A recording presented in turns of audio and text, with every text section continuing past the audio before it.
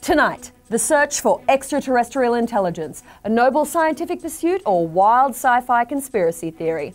But how will we hunt for life outside our solar system? What will it look like? And what has this all got to do with the lizard people? I'm Claire Reilly for CNET. Welcome to Watch This Space. From the CNET studios in Sydney, this is your guide to everything on Earth you need to know about space. And tonight, we're talking about extraterrestrial life. But before all you InfoWars hypnotoad truthers come at me, I'm only interested in the science. All right, you still here?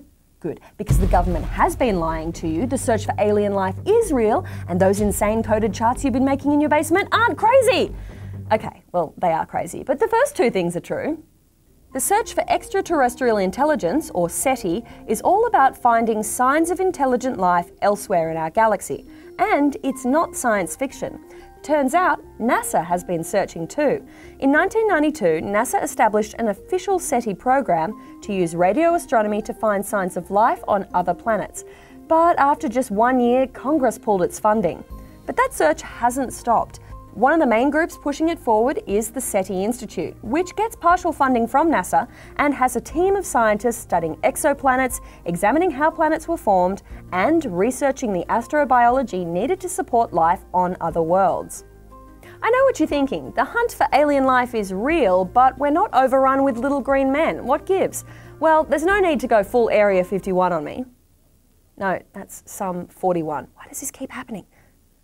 The reason we haven't become an alien ant farm is because despite all those party city costumes you've bought, alien life isn't actually that sexy.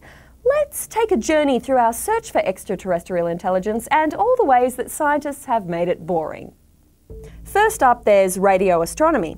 We've been studying radio signals for signs of life ever since Marconi supposedly picked up transmissions from beyond Earth back in 1919.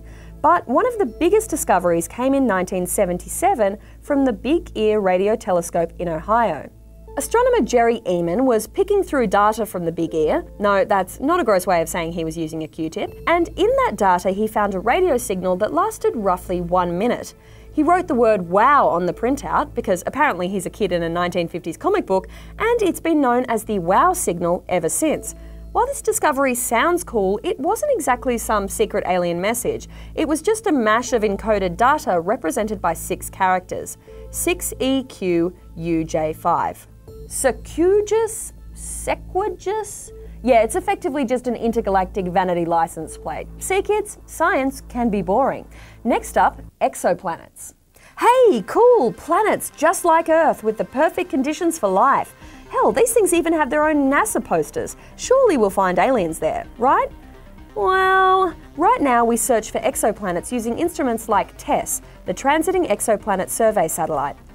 TESS finds planets by monitoring stars to see drops in their brightness caused by a planet passing in front. As far as finding perfect alien planets, that's the equivalent of choosing your husband because he walked in front of the screen at the movies.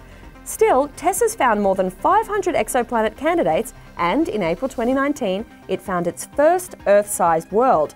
Now that's cool! Stars, they're just like us. Well, no, because while it could look like this, right now it looks like this. And that's not even the exoplanet, that's its star. Also, it's called HD 21749c. Science. Boring. Okay, so this is the alien episode. Surely we have something really cool and weird that we're doing in the search for extraterrestrial intelligence. Well, you're in luck because I have some 100% real, 100% bonkers ET factoids for you. Could I get something in a YouTube conspiracy theorist filter for this next bit? Thank you. First up, let's talk about the Pentagon's secret UFO program. All right, in 2017, the New York Times reported that the feds had spent $22 million on a secret program at the Pentagon to look into reports of unidentified flying objects. Apparently, Defense defunded the program in 2012, but it might still exist. Wake up, sheeple! You want more UFOs? Good. According to a Politico report from April 2019, the US Navy is working on procedures to report unidentified aircraft so, quote, incursions can be made to the, quote, authorities, which we all know is code for the Freemasons are building a secret UFO database.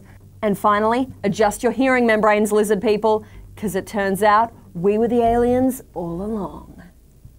Remember back in 2017 when the Oumuamua asteroid floated into our lives? We now know it's an icy comet, but back then, Harvard scientists thought it could be a quote, fully operational probe sent intentionally to Earth's vicinity by an alien civilization. Not only that, but some scientists believe interstellar objects like Oumuamua could provide enough insulation and radiation protection to preserve living organisms on an interstellar journey. It's a process called panspermia. Yikes. What if that's how life on Earth started? What if we all came here as tiny microbes on an asteroid smashing into Earth and we're just waiting to get reawakened by the hypnotoads? Makes you think. Of course, that's all the wildly theoretical and highly speculative stuff of science fiction films. It was just a comet, not an asteroid, and there are no lizard people. Hail Hydra. Regardless of the conspiracy theories, the SETI Institute says that we could find extraterrestrial intelligence within the next two decades. Turns out science isn't so boring after all. All right, that's it for this week's episode of Watch This Space. If you've enjoyed our program, then please remember to click the like button on your remote and subscribe to get more space news as it happens. I'm Claire Reilly for CNET. Good night and Godspeed.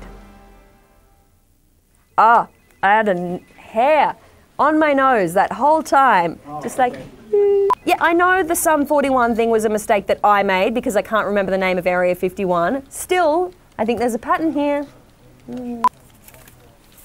So you'll notice that the frontal lobe is protected across here. And these nodes actually collect the gamma rays that are trying to read your brain and redirect them to the displacement plate at the back so they can shoot everyone behind you. Um, I'm selling it for what I think that's worth about $420 on the internet.